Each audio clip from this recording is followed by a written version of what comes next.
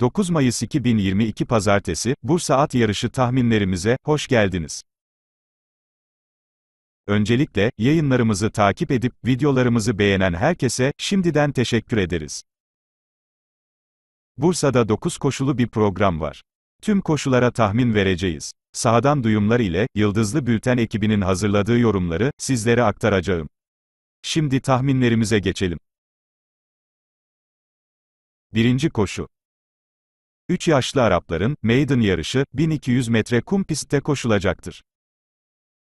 Bu grupta çok kötü veya çok iyi diyebileceğimiz bir isim yok. Favorimiz 5 numaralı Erşafak olacaktır. Mesafenin uzaması ve dil bağı eklentisi ile bugün kapasitesini yansıtıp kazanabilir. Biz mutlaka iyi koşacağını düşünüyoruz. Bugün de kazanamazsa rakip olarak birçok isim devreye girebilir.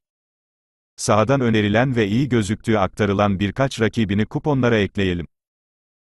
9 numaralı Zemfira, 10 numaralı Zeytinyeli, 4 numaralı Canyurt, 6 numaralı Gangaster, 1 numaralı Akhenaton ve 7 numaralı Dolunay Güzeli isimli tayları, sırası ile bütçenize göre yazabilirsiniz. Bu koşu için rakamsal sıralamamız, 5, 9, 10, 4, 6, 1 ve 7 şeklindedir.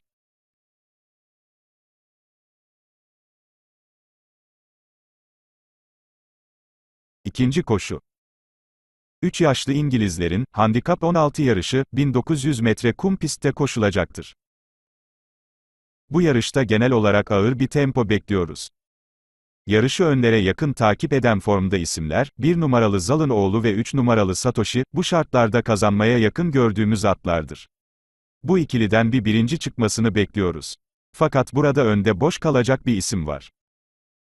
50 kilo ile start alan 6 numaralı Polatyan, Selim İpek idaresinde çıktığı gibi bitirirse kimse şaşırmasın. Ciddi rakipleri ile arasındaki 10 kilo farkı iyi değerlendirecektir. Kalan atlarda formda isimler olmasına rağmen, bugün ağır tempodan dolayı şans vermediğimizi belirtelim. Bu koşu için rakamsal sıralamamız, 1, 3 ve 6 şeklindedir.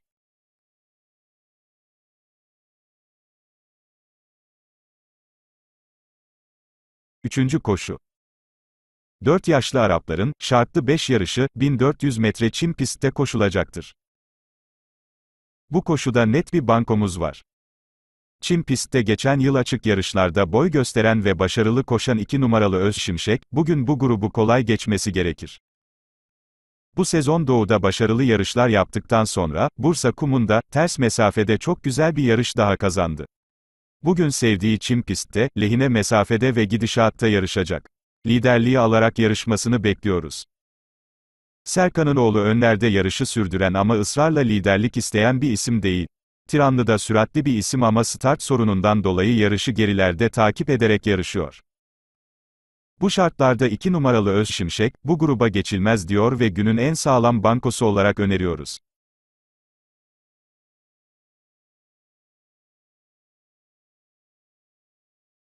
Dördüncü koşu. 4 yaşlı Arapların, handikap 15 yarışı, 1400 metre kum pistte koşulacaktır. Bu koşu aynı zamanda ikinci altılı Ganya'nın başlangıç ayağı olacaktır. Yamak bir sınıfındaki aprantilerin at bineceği bu koşuda, kısmen süratli bir tempo oluşabilir. Normal şartlarda Batuhan Efe liderliği alır ve ağır tempoda yarışı götürür diyebilirdik. Ancak baba bütün ve tekinci de son yarışlarında kaçarak başarılı oldular. Bugün de kaçmak isteyeceklerinden dolayı tempoyu erken yükselteceklerdir. Grup içerisinde, Can Hıraş, Can Ömerim ve Bengütaş gibi sprinter atlar olsa da, yamak bir aprantilere mahsus bu koşuda her atın tam kapasite koşmasını bekleyemeyiz. Ön grup atları da dahil, tüm atların yazılması taraftarıyız. Sürpriz beklediğimiz bu koşuyu sıralamasız olarak kapatıyoruz ve sonraki koşuya geçiyoruz.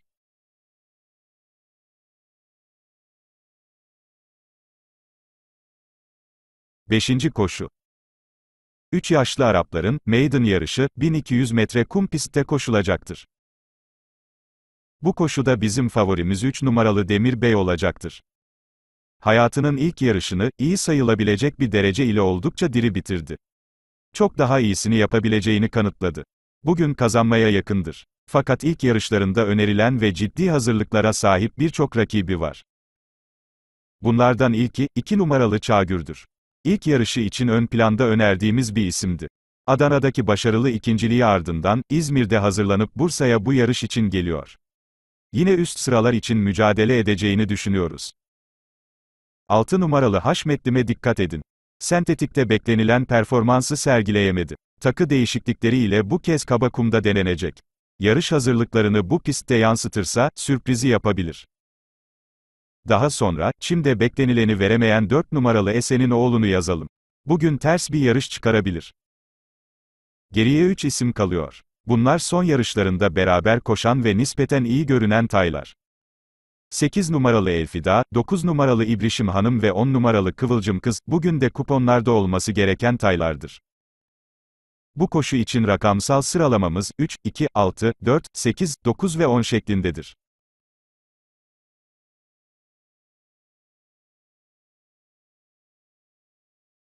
Altıncı koşu 4 ve yukarı yaşlı Arapların, şartlı 4 yarışı, 1800 metre kum pistte koşulacaktır.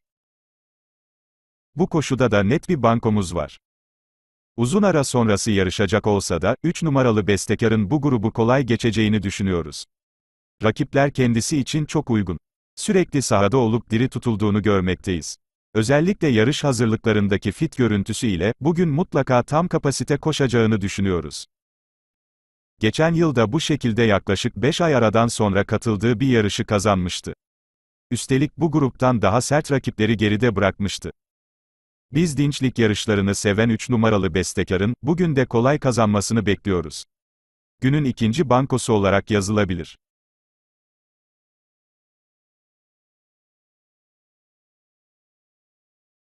Yedinci koşu 4 ve yukarı yaşlı İngilizlerin, şartlı 4 yarışı, 2100 metre kum pistte koşulacaktır.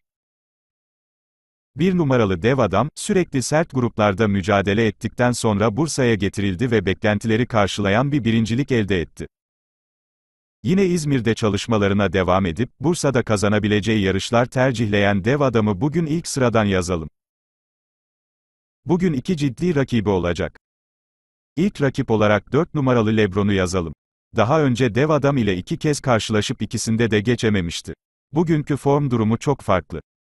Stili rakibi rotavatör ile inatlaşmadan sabırlı şekilde tempoyu ağır götürürse, düzlük üzerinde alacağı liderliği fotoya kadar koruyabilir. Son olarak da 3 numaralı Hi ismeyini yazalım. Olur da rotavatör ve Lebron yarışın temposunu yükseltir, dev adam da onları elinden kaçırmamak için erken hamle yaparsa, sonlarda devreye girebilecek olan bir sprinter safkan kuponumuzda olsun. Sonuç olarak bu koşuyu, 1, 4 ve 3 sıralaması ile geçebiliriz.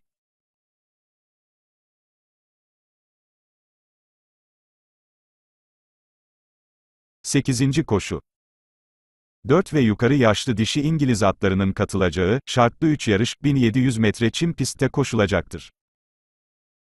Bu koşudaki favorimiz bir numaralı Daniel Ashdaughter olacaktır.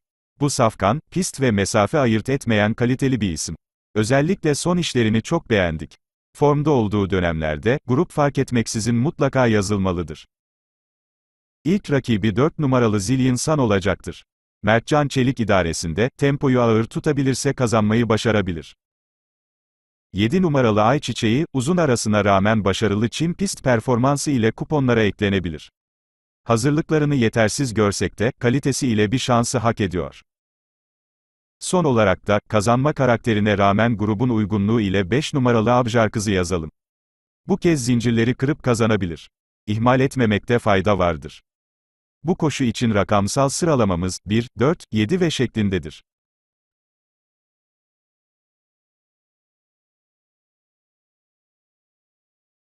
Dokuzuncu koşu 4 ve yukarı yaşlı dişi Arap atlarının katılacağı, handikap 15 yarış, 1500 metre çim pistte koşulacaktır.